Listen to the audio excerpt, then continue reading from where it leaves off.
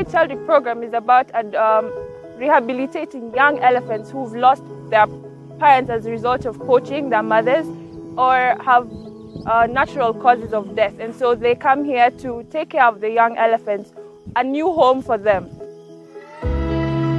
I've been working with Sheldrick for four years now, and we've been doing different things, and now we've adopted 17 elephants in total with them.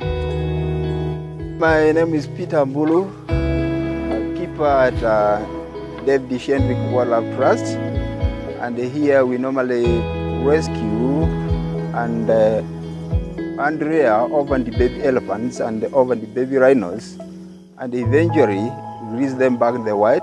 We are now saving the lives of these animals because nowadays they are endangered.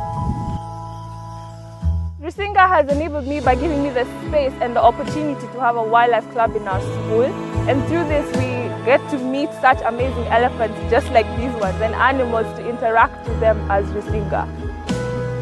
We've adopted 16 elephants where I, in school I had a bake sale and I raised 63,000 and then I had a family get together with a, where we raised money and raised 15,000 to adopt 10 elephants, plus the six elephants that I adopted in school. Some of the money is going to the keepers, who I like to call the unsung heroes, because they are a big part in this wildlife conservation sector. And we, as well as creating awareness in my in Rusinga school, we have a wildlife club with members who are are passionate to contribute and protect our heritage and our wildlife.